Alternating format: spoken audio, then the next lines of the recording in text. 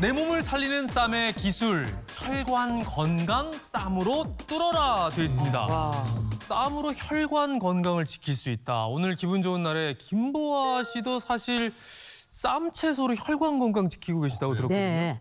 제가 지금은 이렇게 건강해 보여도 한 7년 전에 어, 당뇨 전 단계 판정을 제가 받았습니다. 삼시세끼를 다른 거 일체 안 먹고 옥수수를 앉은 자리에서 일곱 자루, 그다음에 또 간식으로 군고구마, 감자, 그리고 이제 그런 걸 이제 과식을 한 거예요. 드셨네요. 네. 그래서 이제 그때 이제 혈당이 많이 올라갔나 봐요. 병원에 가니까 당뇨 전 단계라고 그러시더라고요.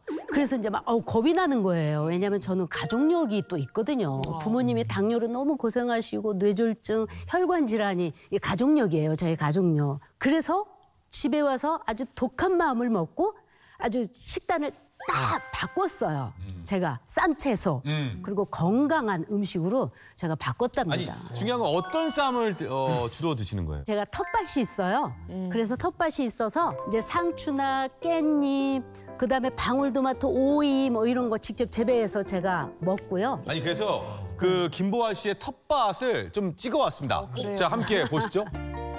아, 우와, 되게 큰데요? 아니 텃밭이 맞 맞죠? 네네 텃밭이에요. 넓은데요? 그 정도면 진짜 농사를 하시는 거죠. 이제 올해는 그래서 이제 고구마 농사를 또 지려고 제가 밭고랑을 지금 다 만들어 놨어요. 이제 비 오기만 기다리는 거야. 지금 이제 홈이 들고 비 오면 바로 와서 집 이제. 뒤에 텃밭 조그맣게 세 마지기. 아니 근데 이정섭 선생님도 텃밭에서 직접 기르시잖아요 예, 쌈채소를. 저는 세 평인데요. 세 평. 내일 내일쯤 지나야겠다. 모종한 게 5월 20일쯤 되면은 그때부터 이제 좀 따기 시작해요. 상추 같은 거.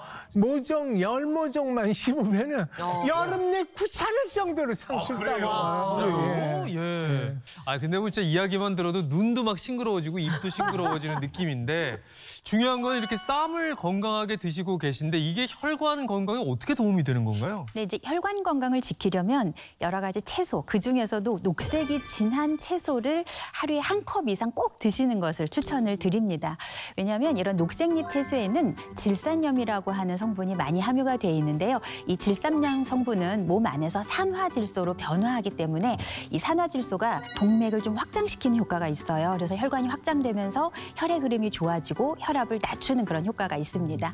어, 실제로 덴마크에서 한 연구팀이 5만 명을 대상으로 해서 추적 조사를 해봤더니 이 녹색잎 채소를 충분히 먹은 사람은 혈압이 좀 더 낮았다라고 하고요. 심혈관 질환에 걸릴 위험이 26% 정도 더 낮았다고 합니다.